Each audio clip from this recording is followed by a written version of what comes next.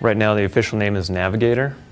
Um, these are the main components laid out here, then a control box. Um, the main system has uh, utilizes the HLX drive. Um, this is the HLX module, drive module, something like that. I don't know, no official HLXD. Uh, the base module, where these components will mount to. Uh, this is the compound elbow that uh, you know takes the hose from the coiled state and then kind of changes its direction to straight. Um, rotate drive motor, little urethane wheel there. So the three modules will attach to each other here. The hose module with the, the drum and the HLX hose. Um, I think we're going to offer four, five, and six millimeter HLX hoses as a standard, possibly eight in the future. So anyway, putting these things together, it's pretty simple. Uh, these little pins drop into a notch there. You can support its own weight while you get a little quick release pin. Your high pressure water would go into the swivel here.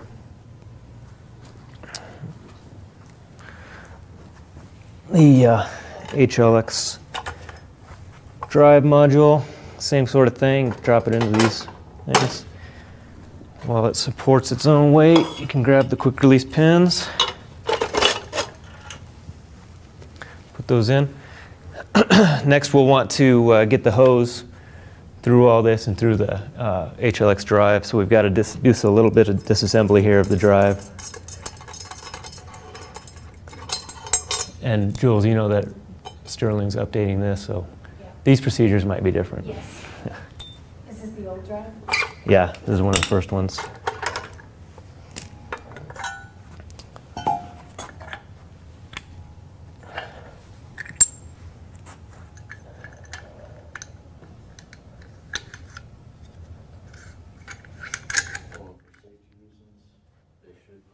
With this uh, first frame, uh, the back end of this frame is really light. If you don't put the drum on first, this unit will cause it to tip over. So we'll correct that in the future. So anyway, you come in here and then you find the end of your HLX hose. I've got just a, uh, little cap on here to protect the threads while you're uh, running it through things. You don't want to junk those up. So you can, you know, rotate this uh, hose as you need to. And just start pushing that hose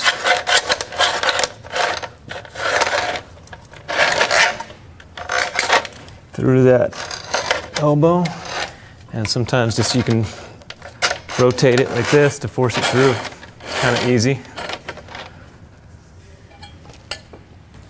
Just get it far enough through this HLX that we can put it back together. You got your um, split bushings there. Thank you. Thank you.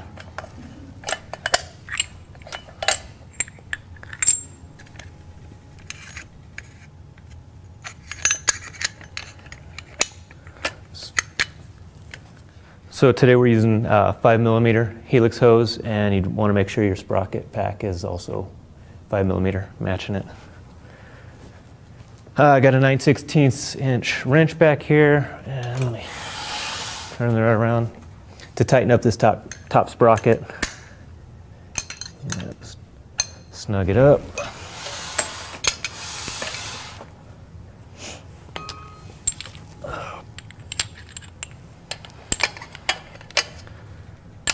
Put your bushings in. Now, does that gear that you just engaged, does it slide all the way down on the slot? Is that how you know you, you reached engagement? Mm. You want to zoom in here, maybe? uh, this little uh, disc here has three sides to it, and the HLX is uh, capable of running. Uh, right now, this design is 5, 6, 8, 13, and 20 millimeter helix. Uh, we'll update that when we start making the 4 millimeter. Uh, so anyway, whatever size hose you are you're using, you'll want that number facing up. So there's a five right there. There's a flat on this uh, underside of this disc that uh, kind of bottoms out on these welded tabs here. And that keeps the gear in place.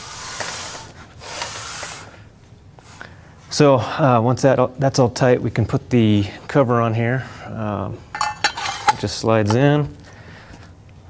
Couple of quarter 20 screws. And I think one of the updates is these screws are going to be retained onto this box, so it'll be a lot easier. You won't lose them. 3 16ths Allen. Tighten those guys up. And also another update to this, these uh, little collars are going to be uh, attached to these split bushings or somewhere on there, and they're going to be hinged. Make it a lot easier in the future. Anyway, these slide onto the um, ends here to keep the cover nice and tight around those collars, the split collars. This is a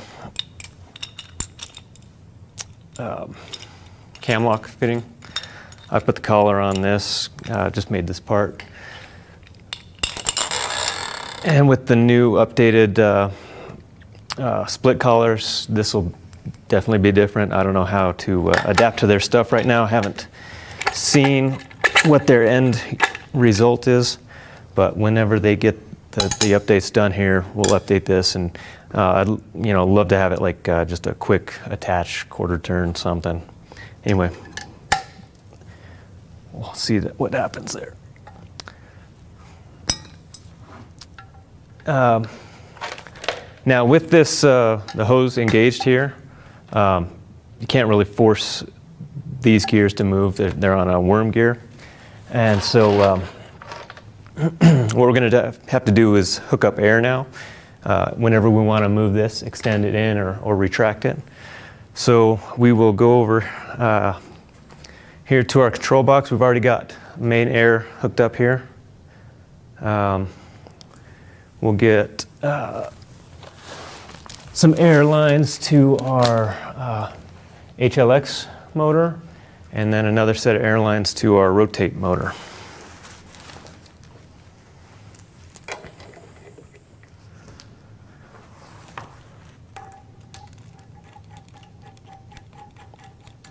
Fifty-fifty chance here this first time. Let's see what happens.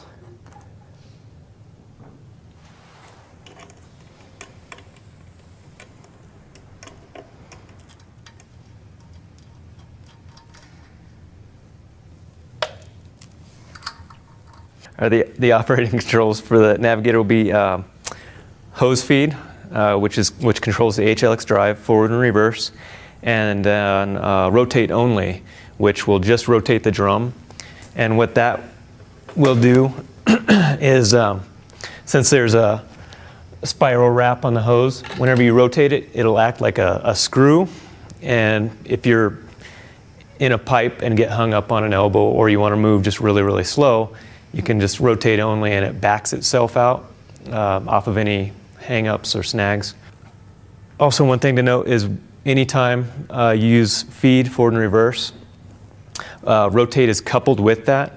And the reason for that is if you were to just drive forward and the hose was going out, uh, it would start uh, pulling the hose out and the coils would, would kind of collapse on themselves and then just fall out.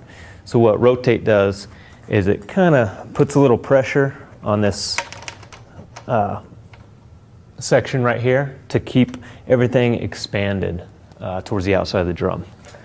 You'll need to uh, drive it forward enough, have a, enough length out here to get through your snout, and this is uh, auto stop. Uh, the, your cam locks through your snout, and um, then this will go onto a flange theoretically. Uh, also, Tim's working on that BOP, that kind of universal pipe attachment, um, where you don't need a flange, and uh, maybe you know we'll adapt this so it mounts. And I, am not sure if it's going to be a cam lock fitting on that or, or what, but that may, may be a, a universal type of attachment. Um, there's uh, some logic uh, air switches here, and uh, so this will automatically shut off when your tool uh, uh, retracts far enough and depresses a little shuttle inside. It'll activate these air switches, and so any uh, it cuts off rotate because rotate uh, drives backwards slowly, and then it cuts off your reverse for your helix motor.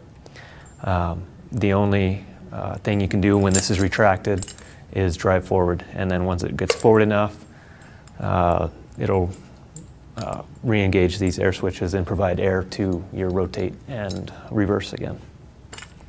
This is, uh, there's four, four airlines in here, and this is for the, uh, the logic circuit, really small tubing uh, from your control box to the auto stop mechanism. Uh, these are four port uh, multi-line fittings. They seem to be working pretty good, pretty convenient. There's a key that you got to line up as you do this.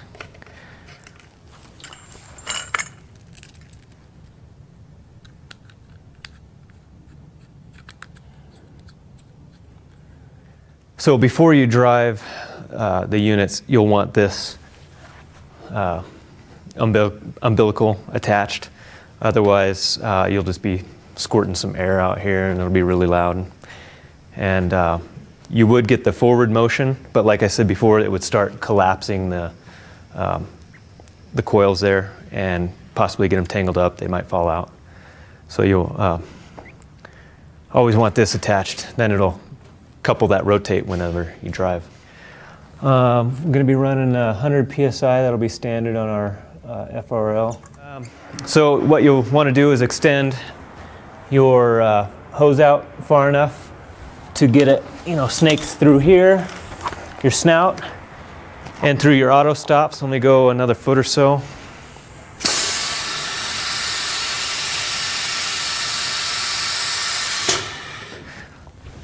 Grab the end of here, male cam lock fitting, start shoving that through.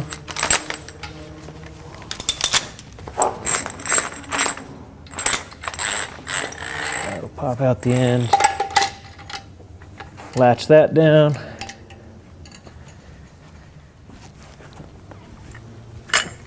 Put it through your auto stop.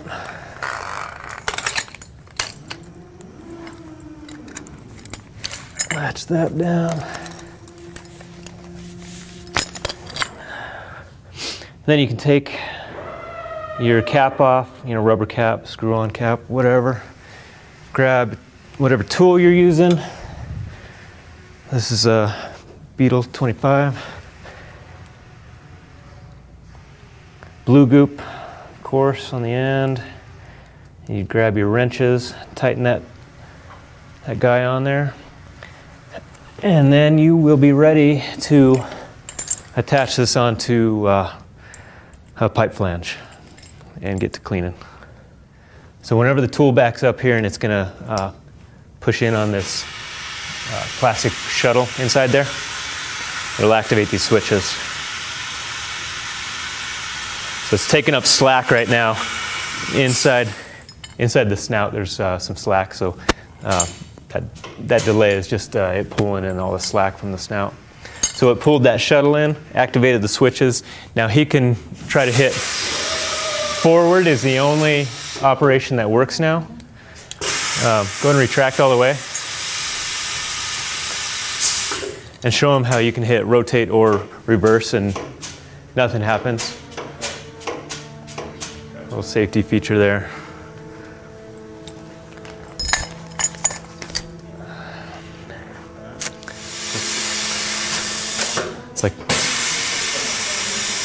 Slow motion.